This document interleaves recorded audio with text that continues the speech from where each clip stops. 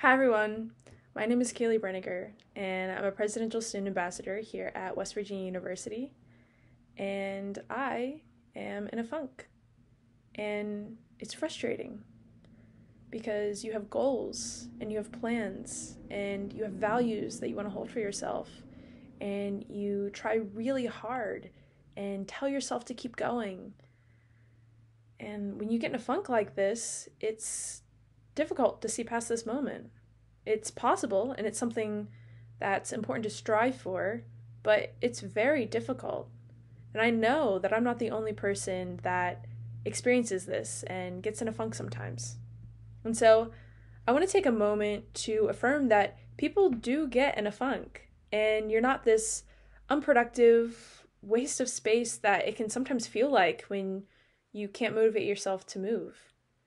Affirming that that's an experience that a lot of people have at some point in their lives, and it's not something that makes you any less valuable as a person. So, with that in mind, I'm going to talk about a few techniques that I use to get out of a funk, ways to help myself get out of bed, perform self care without guilt, and become inspired again. When I'm in a funk like this, it's very difficult for me to get out of bed. Sometimes I'll go a whole week not getting out of bed until 2 p.m. However, an app that I've been finding super helpful recently is Alarmy. It's an alarm app that requires you to complete a mission to make the alarm go off. For instance, I have to scan the barcode on a cookbook in my kitchen to disarm the alarm, which requires me to get out of bed and go downstairs. And once I'm out of bed, it's much easier for me to stay up. So, if you have trouble getting out of bed, I highly recommend this app. There are several different several different mission types to choose from, and it's super effective for me. Once I'm up, sometimes I have a difficult time justifying completing self-care acts. One, because it feels pointless, and two, because I feel guilty the whole time since I have so much work to do.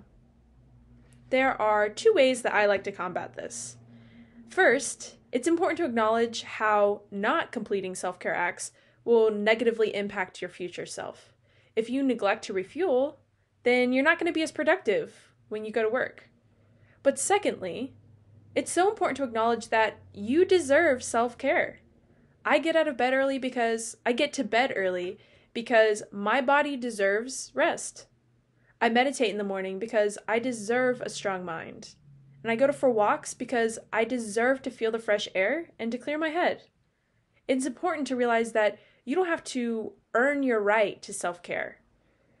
It's something that you deserve and you have the right to because you are a cognizant being that requires it in order to be happy and fulfilled.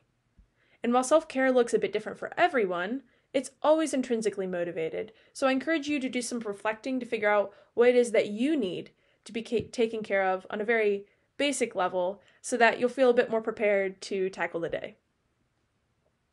However, sometimes when you get in the funk, everything sort of just looks gray. And you're not even sure what it is that you enjoy or what brings you life. So it's important to try to remember what it is that you love. I think for me, I've been getting a lot of plants recently, and it's been really nice to be around living things in my home, which is the first step to getting outside. And the outdoors for me is something that I really, really love. But when I'm in a funk, sometimes I don't want to leave my house. And so bringing plants in has been really helpful for me because it makes me want to go outside more.